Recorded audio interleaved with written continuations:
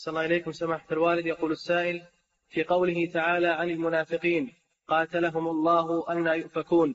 يقول هل هذه الكلمة خبرية ولبيان حالهم عند دعاء الله دعاء عليهم. قاتلهم الله هذا دعاء عليهم. نعم.